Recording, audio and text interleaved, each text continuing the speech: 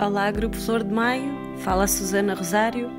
Vou continuar a gravar aqui o nosso trabalho especial Outubro Rosa e neste momento, depois de secar, estou a tentar uh, dar os últimos retoques no fundo.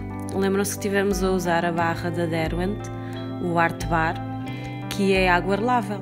Portanto, com, sem adicionar mais cor e usando Aquas Brush, estou a tentar alisar aquelas camadas que ficaram um pouco mais grossinhas e criar uma, uma textura um pouco mais homogénea no fundo.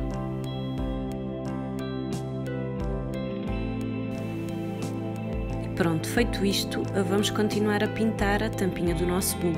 Lembram-se que estamos a usar o Geodo Supermina e neste momento estou a usar o Carmim Red, o 13, para fazer a zona mais escura, adicionando agora o 7, que é o rosa, para fazer a zona mais clara.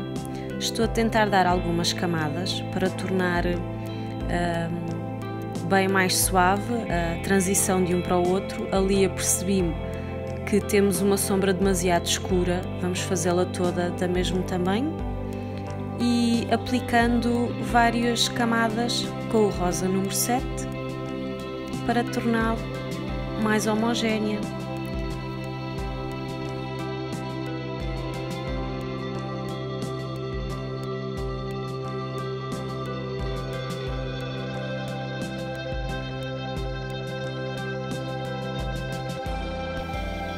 Vou usar agora o 36, o preto, para dar um pouco mais de sombra entre aquelas duas peças e alguma profundidade também. Não esquecendo de reforçar com o rosa carmim, o 13, para misturar as duas cores.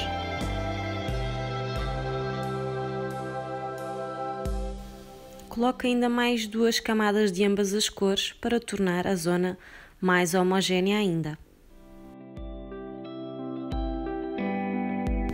Vamos para a zona mais larga do bolo e neste momento vamos continuar o trabalho que tínhamos iniciado com o 13, fazendo este traço riscado ou puxado para baixo, começando na base com mais força e retirando alguma força na ponta para criar um, um certo degradê na cor. Fazemos isto em toda a volta na parte de cima e depois voltamos a fazer o mesmo na parte de baixo.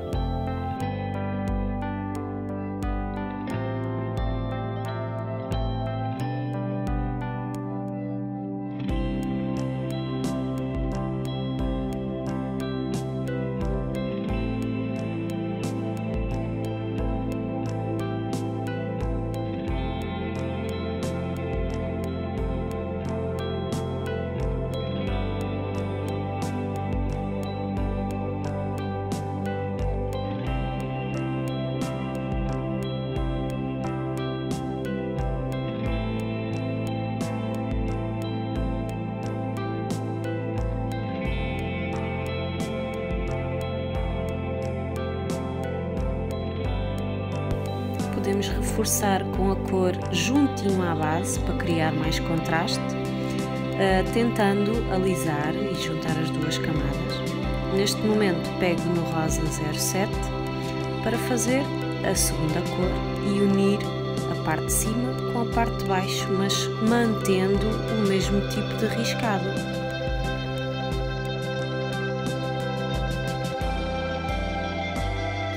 Quanto mais gradual for esta passagem de uma cor escura para a clara, mais natural fica. Portanto, podemos repetir com a cor por cima uma da outra e tentar unir.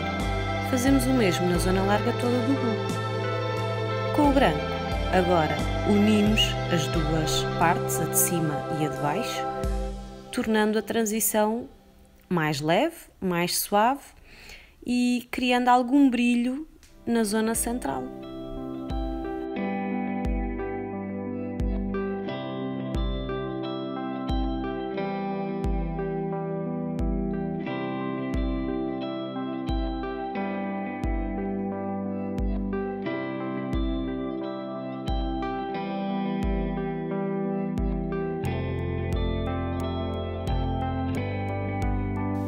Importante irmos aperfeiçoando o trabalho à medida que vamos avançando, acrescentando cor, unindo tornando as coisas mais suaves e os degradês mais naturais.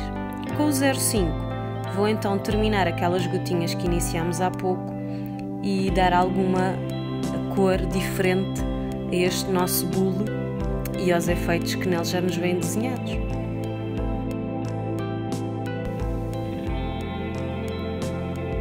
Vou usar a Signo Ball dourada para continuar a pintar a nossa parte barrinha em cima, toda até ao final e a barrinha em baixo também.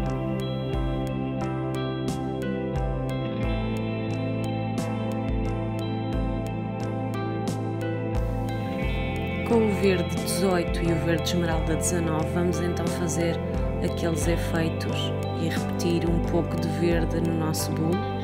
Começo com a cor mais escura na parte de cima, fazendo alguma força na base e aliviando.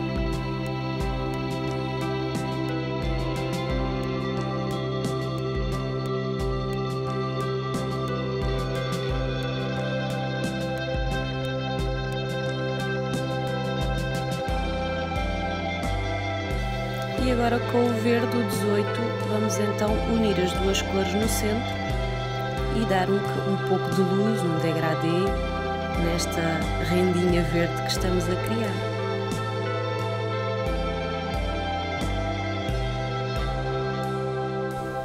Com o vermelho carmim número 13, vamos pintar as bolinhas que existem na base do bolo. Ainda experimentei fazer com o verde, por isso é que se nota a zona apagada mas acho que com este vermelho seriam destacar muito mais.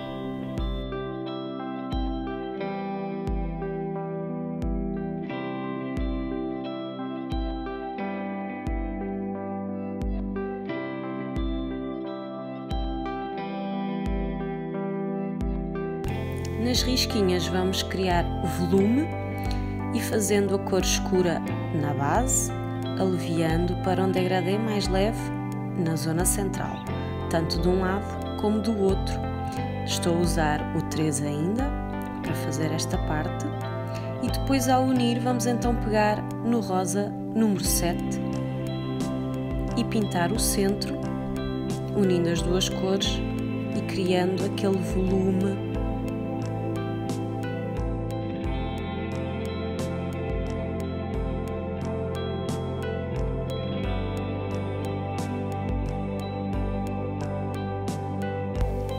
e fazemos os acabamentos finais com a caneta dourada de gel, tanto na barrinha de cima, agora como na base da parte de baixo.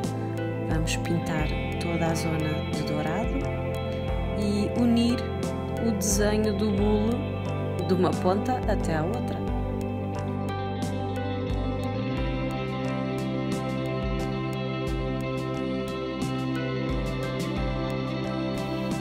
Na boca do bolo inicio com o 13, o vermelho carmim, e vamos tentar dar luz na zona central, porque é a parte que está mais exposta à luz, e faço isto na linha de baixo, agora começo na linha de cima, deixando sempre uma área branca no centro.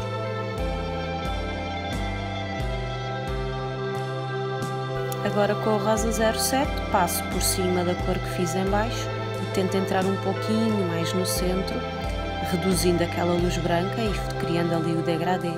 Uno as duas na zona junto ao bule e separa as duas na zona mais afastada. A parte de baixo será toda pintada com o 13, o carmim. A pontinha lá está. Vamos terminar mais um contorno com a caneta de gel dourada. Na asa do bolo estou a usar o 13, o vermelho carmim, para criar novamente o mesmo efeito de sombra e de luz. Vamos usar a cor mais escura para o interior e deixando um degradê até ao exterior, porque é a parte que está mais exposta à luz. Portanto, aqui no interior da asa pintamos toda a área com o 13, a média força, algumas camadas para deixar lisinho e homogéneo.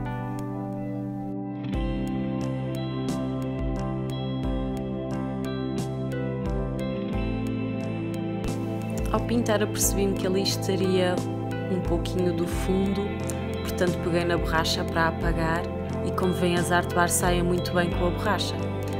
Faço a ligação de uma cor a 13 com a 07, deixando um pouco de luz na zona mais exterior da asa e depois vamos homogeneizar tudo com o branco, até fazendo efeito de blender, deixando a luz inicial.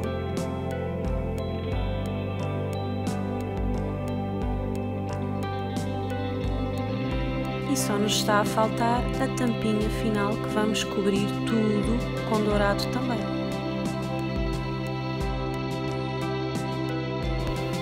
E está terminado o nosso bolo. Espero que tenham gostado. Visitem a minha página no Instagram e não percam o próximo vídeo com a chávena e as flores. Beijinhos!